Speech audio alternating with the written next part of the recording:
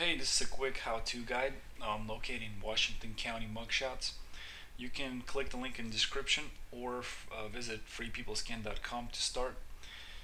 If you find yourself on the main page here, locate the mugshot state directory and select the state most appropriate. I'm going to go ahead and go with Georgia for this example. Uh, there is more than one Washington County so in the United States, so whatever state is more appropriate to you, click on that link. Um, so it doesn't matter what state you're in, you will have two options. You will have, on the state page, you will have two options.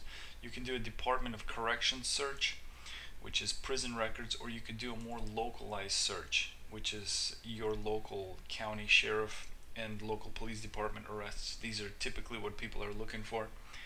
Uh, you have access to both. They're both free and they're both direct, no matter what state you're looking for.